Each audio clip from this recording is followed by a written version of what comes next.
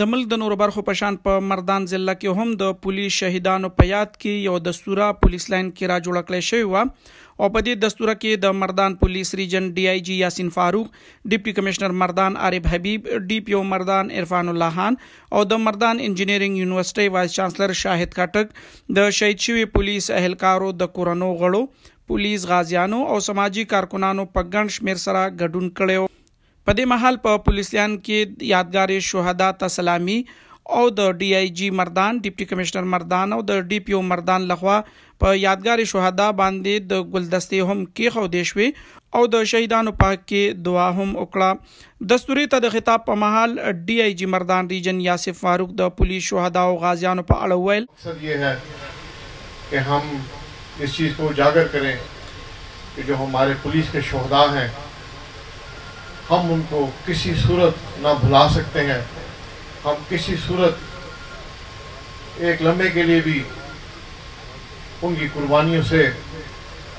हम गाफिल नहीं हो सकते हम उनको उनकी फैमिलीज़ को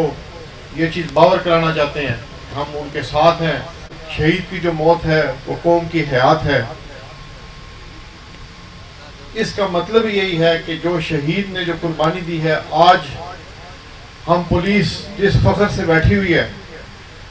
हम पुलिस वाले हम पुलिस ऑफिसर जिस फखर से बैठे हुए हैं ये उनकी कुर्बानियों की वजह से बैठे हुए हैं دستوري ته د مردان ډپټي کمشنر عارف حبیب، د مردان بار ایسوسییشن صدر باور سید اډوکیټ او د تنظیم تاجران مردان صدر ظاهر شاه د تقریر په مهال د د پولیس فورس قربانیانو ته پیرزونې ډالۍ کړې ولې په دې مهال ډي پي او مردان عرفان الله هان د پولیس شهداو ته سلام پیش کړ او ویې ویل موت آنی هې اور سب کو آنی هې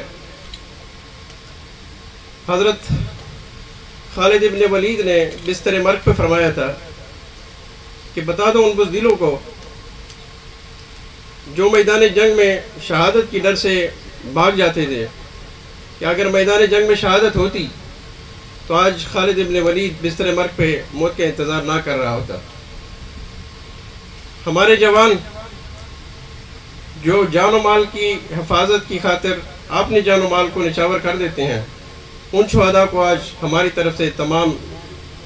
فورس کی طرف سے تمام عوام کی طرف سے دلی سلام ہے۔ آخر میں میں اس شعر پہ اختتام کرنا چاہتا ہوں۔ اے وطن تو نے پکارا تو لہو کو لوٹا۔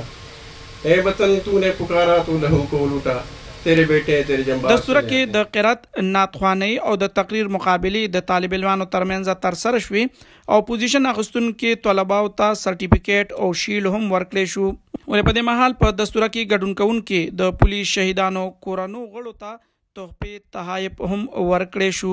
یاد دی وی چې تر دې وخت پورې په مردان ضلع کې یو سل اتلس او په خیبر پښتونخوا کې شپاړس سوه پولیس اهلکار شهیدان شوي دي د پښتونخوا ریډیو لپاره عبدالستار مردان